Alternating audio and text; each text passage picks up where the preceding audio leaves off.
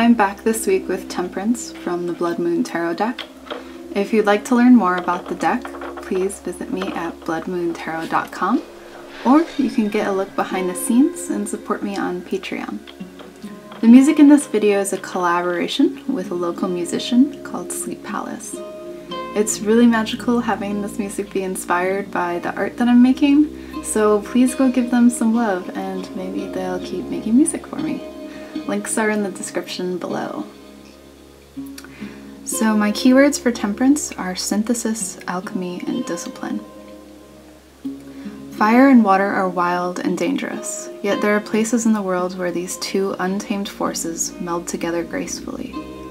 With time and the right conditions, these elements transform into fertile islands, beautiful crystals, and new life. Like these natural phenomena, we too can master ourselves, harnessing our raw emotions and transforming them with patience and skill into something unexpected and powerful. So, I wanted to talk briefly about emotions and how we deal with them, and obviously how that relates to art for me and other sorts of creation. So if I was to define emotions, I would say that they're definitely not logical for me, but they are profoundly powerful. I feel them physically, and they transform the world around me if only through altering my perception. Um, they probably developed as evolutionary controls and defenses, and they retain that raw, primal energy.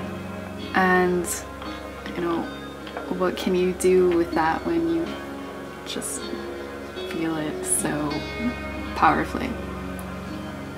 My frustration with emotions is that um, I can't process them logically. It's not enough to ponder emotions, label them, and say, okay, I'm done with this. They have to be felt, expressed, and they have to travel through me completely in order for me to feel relief from them.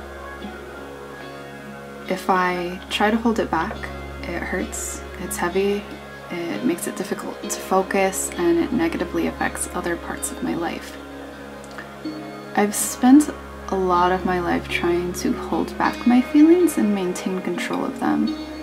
And I've done this partially because for a long time I didn't know the importance of expressing them and also, it's incredibly vulnerable to express yourself, uh, especially with society generally finding expressive people to be um, somehow weaker or somehow not intelligent.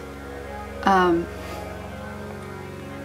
so trying to hold back those feelings like sorrow and anger, love and grief. It's like trying to hold back a river, getting back into nature. Um, analogies here.